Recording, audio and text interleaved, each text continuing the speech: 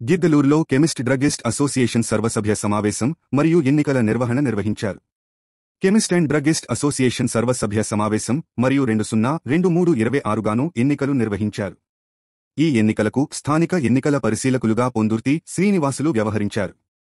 Giddaluru chemist and druggist association ఎన్నికలలో అధ్యక్షులుగా తుమ్మలపెంట వెంకట సుబ్బయ్య సెక్రటరీగా బివి చంద్రశేఖర్ ఎన్నికయ్యారు అనేది మీ సంఘానికి పంపించడం జరిగింది దీంట్లో రెండు పద్ధతులు ఉంటాయి. ఒకటి నామినేషన్ విధానము రెండు ఫ్లోర్ నామినేషన్ ఉంటుంది. నామినేషన్ విధానం అంటే మామూలుగా ఫోర్టీన్ డేస్ ముందు మీరు అనౌన్స్ చేయడము మీరందరూ మీటింగ్ చేసుకొని ఎవరన్నా ఇద్దరు ముగ్గురు ఎవరైనా పోటీకి వచ్చి అంటే ఆ- చివరి జనపాటి మీటింగ్లో ఏ నిర్ణయం తీసుకుంటాం ఆ ప్రకారం వెళ్ళిపోవడం.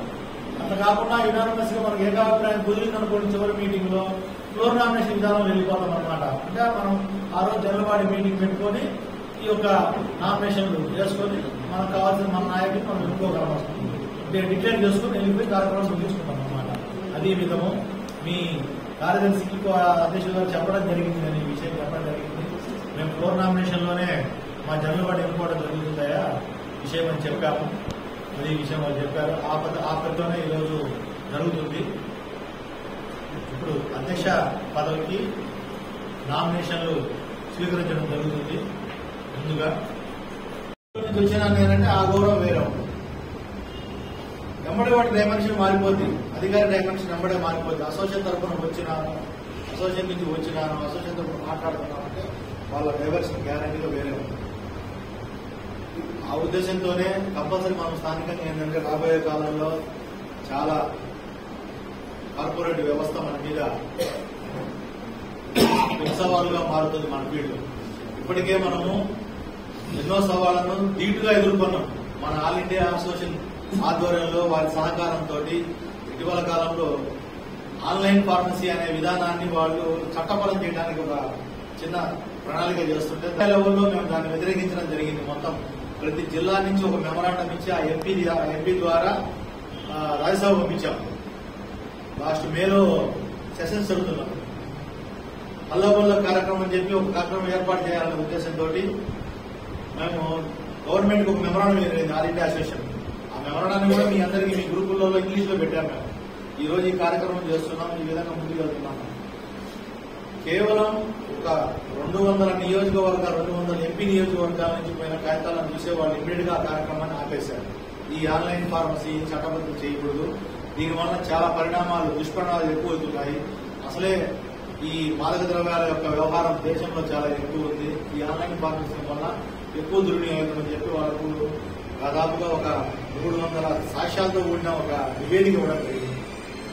గౌరవ ప్రధానమంత్రి గారు తర్వాత ఇందులో ఉన్న హెల్త్ మినిస్టర్ గారు మన్సుఖ్ మాండవీయ గారు మన యొక్క విన్నపాన్ని గౌరవించి all India president Shri Jagannath Sakharam Shinde garu అని చెప్పి వారిని ఇమ్మీడియట్గా పిలవడము మన యొక్క బాధలు కానీ దాంట్లో ఉన్న లోటుపాట్లను తెలుసుకోవడం ఇమీడియట్గా ఆన్లైన్ ఫార్మసీని బ్యాన్ చేయండి అని చెప్పి ఒక సంబంధిత జీవో జారీ చేసి మన యొక్క మనుగడకు ఊపిరి పోసారు కానీ ఊరికి రావడం ఇక్కడ ఉన్న ఒక ఆరు ఏడు షాపులు ఒక ఎనిమిది షాపులను పర్చేజ్ చేయడం అపరితం అపరిమితమైన గుడ్విల్ ఇవ్వడం పర్చేజ్ చేయడం ఇక్కడ లీడింగ్ షాపులు ఉండేవి మొత్తం క్యాప్చర్ చేసి ఈ సరౌండింగ్లో ఉన్న మండలాలకు మా యొక్క మా మీ యొక్క డ్రగ్ అండ్ కాస్మెటిక్ పరిధిలో మేము సప్లై చేస్తామని చెప్పి కొత్త ఓ సిస్టమ్ వస్తుంది.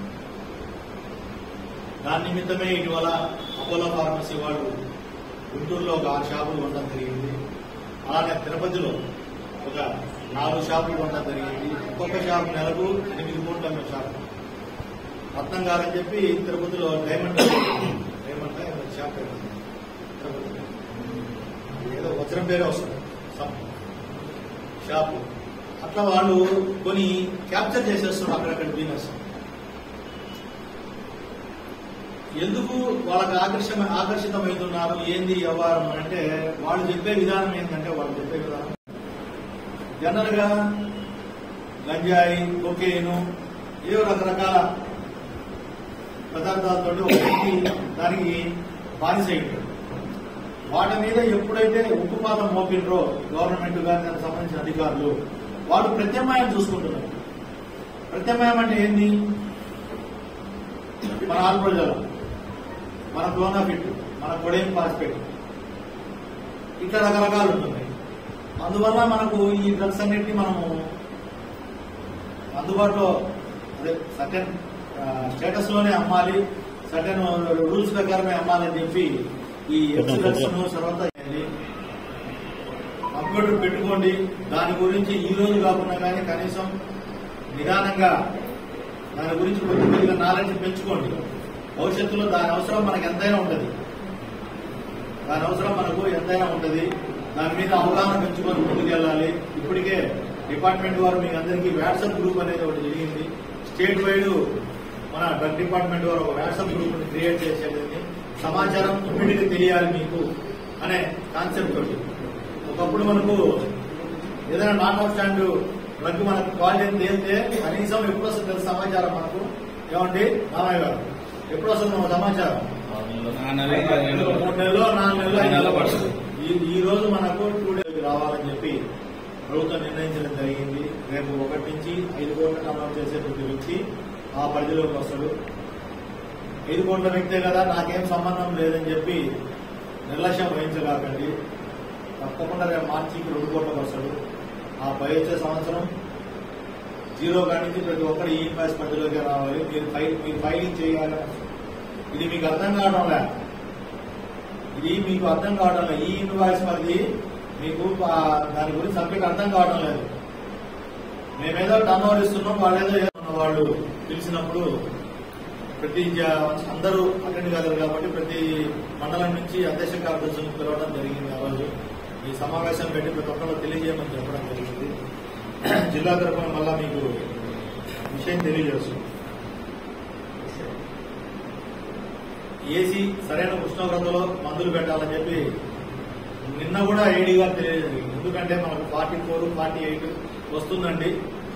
ఏదైనా శాంపుల్ తీస్తే నాట్ ఆఫ్ స్టాండర్డ్ క్వాలిటీ కింద మనకు వస్తాయి కాబట్టి కంపల్సరీ కొద్దిగా సిస్టమ్ మెయింటైన్ చేయండి అని చెప్పి సెవెంటీ ఫైవ్ పర్సెంట్ మొత్తం నిర్వహించడం జరిగింది.